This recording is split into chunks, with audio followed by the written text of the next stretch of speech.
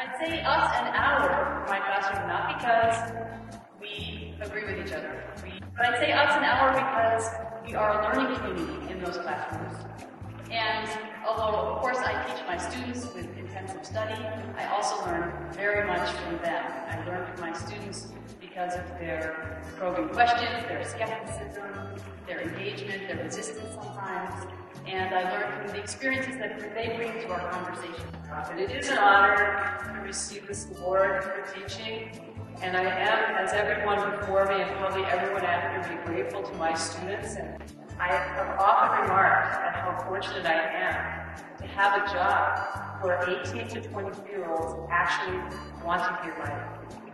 And it is so rewarding. Um, and I just totally enjoy advising and teaching for that reason. They're just so open to hearing what you have to say. Finally, I would just like to say that in this season of great hope, it is spring, believe it or not, it is a season of hope.